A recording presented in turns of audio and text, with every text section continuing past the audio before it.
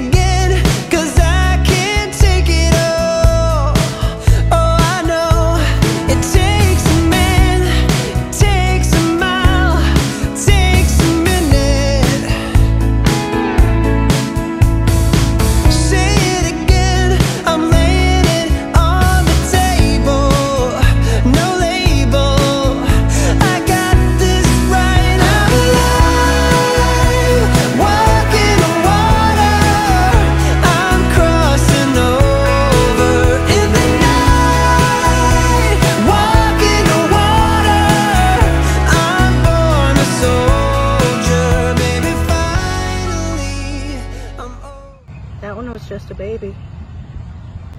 Huh, they're only 38 years old. That's what it looks like anyway. Was that 1888 that they died? Yeah. 1853 they were born. Oh look, they were born on Christmas. 66.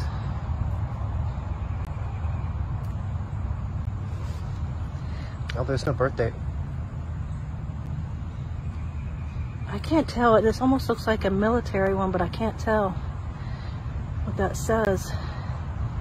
Can you tell? The right here. Well, it says to my husband, but that looks like there's a crown on it. Oh. Is that Martha?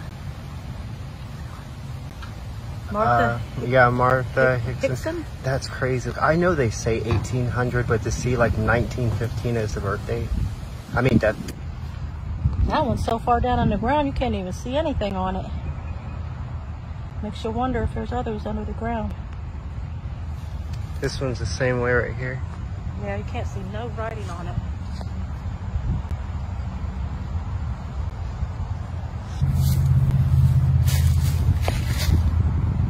Katie Hickson, Hickson, daughter of M. And how old was this one? Is this another one of their kids that died, or is this two different families in here? What if that's a death date or a birthday? That was like a hundred years before I was born. Literally.